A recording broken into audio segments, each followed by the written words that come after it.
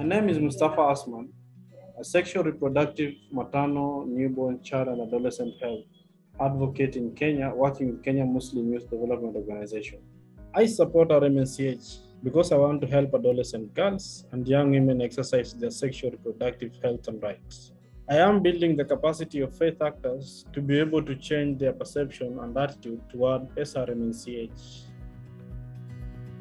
In order to allow adolescent girls and young women make autonomous decisions about their bodies free from coercion, violence, and discrimination in humanitarian setting. I am encouraging all faith actors to create an enabling environment for implementation of SRMNCH.